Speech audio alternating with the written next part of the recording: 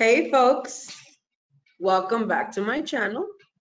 My name is Maria Abreu and I'm from Abreu and Associates. In this video, interesting, this is an interesting video, and I have to say one of my favorites. A subscriber asked the question, okay, what town did you live in before you moved to Santo Domingo? And they go on to say, you mentioned that you lived in a town or city in mountains before moving to Santo Domingo.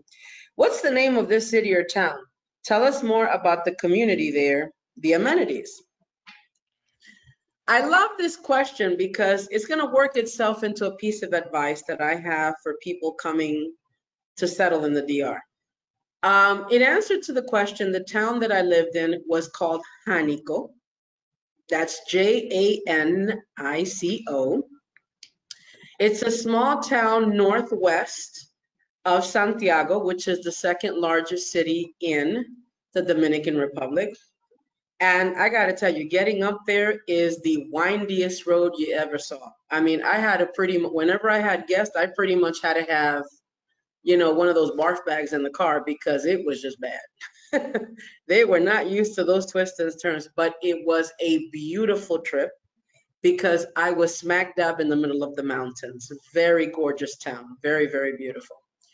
Um, this was a very small town, not no foreigners, I have to say. Um, and just to get a little bit into into my background, I my family's Dominican. My dad has been um, in the U.S. for about 50 years, but to talk and deal with the man, you can you can never tell. You would never tell he was out of this country for any amount of time. So we were raised, you know, with Dominican cultures and traditions. In fact, we weren't allowed to speak English in the house. he was one of those.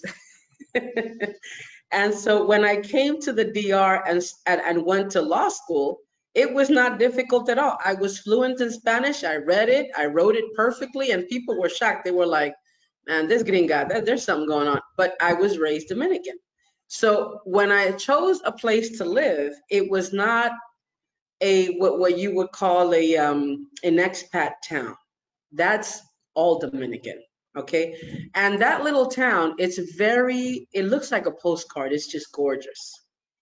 Um, but you don't have a supermarket you don't have restaurants, you know. Um, you have one gas station owned by a man who pretty much founded the town. it was that kind of deal. But I loved it. It was just, it was great. It it, it was home. And the it, very clean town, very beautiful. The town was very, very small, the center of it. And most of the town was what is known as campos, rural areas. So basically, if you went along all the way to the mountaintop, which takes about an hour to get to, you you would you would see the names of little rural campos, Los Indios, um, Bao, Babosico, and then when if you veered off, it would you see clusters of houses and little businesses in these. It's really gorgeous, and so I lived there for about seven years, and it was as I said, it was not you know, no amenities, no advancements. You did have internet, you did have cable, but it was a very small town off the beaten path. Now, piece of advice. This I want to work this into into advice. The reason that I chose that town is because when I moved to the country, I lived in one place, but I did a lot of traveling. I got to know the island, okay?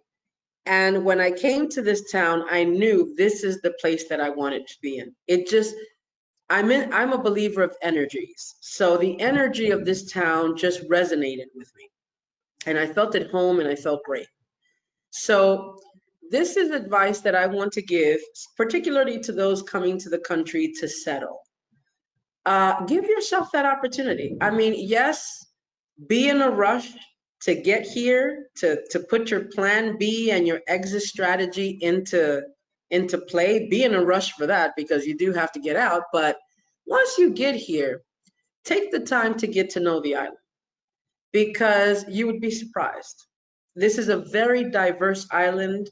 There's something for everyone.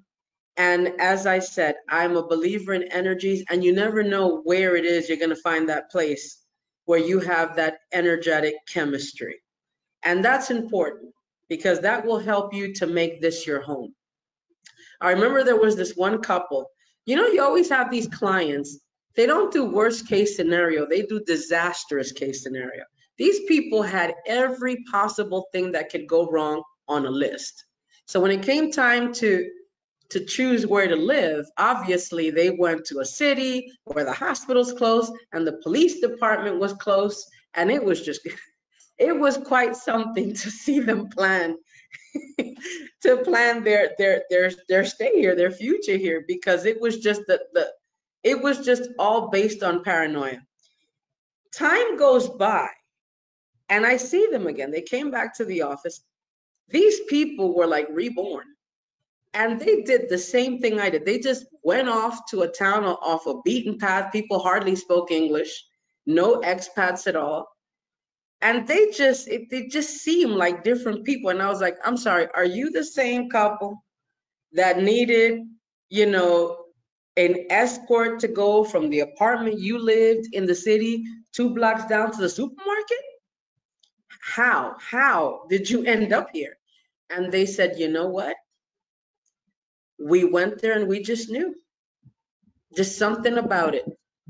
And they even became more adventurous. People who were led by paranoia just became more adventurous. So finding the right place this is my point to you finding the right place is key. You're moving to a new country. So once you get here take the time you can settle in one place but take the time and I, I don't mean move from place to place that could be quite unsettling but at least visit. Take the time to spend a weekend here, a couple of days there, and just get to know it until you find the place that is right for you, like I did. And some someday I'm going back to Janico, folks. Don't you doubt that. That's coming. But anyway, that is all for now, and see you next time.